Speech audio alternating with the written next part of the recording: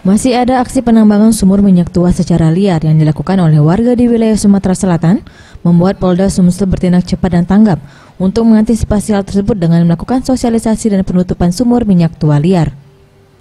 Menurut Kasat Brimo Polda Sumsel, Kombes Pol Sugeng Supriyanto, sebanyak 250 personel Brimo Polda Sumsel diterjunkan di wilayah yang teridentifikasi terdapat sumur minyak ilegal yang dapat merugikan negara itu anggota Brimob 166 untuk BKO di Polres Murah dan rangka penutupan sumur-sumur dari Pertamina untuk membantu Polres dalam rangka penutupan illegal drill, drilling. Berapa lama itu Pak prosesnya? Penugasan mereka selama seminggu. Sekarang sudah mulai berjalan penutupan-penutupan sumur-sumur yang sudah disosialisasi terlebih dahulu. Ada yang penolakan, tapi yang sudah oke okay, yang bisa ditutup ditutup yang nanti penolakan akan disosialisasikan ulang pada Polres dan Pertamina.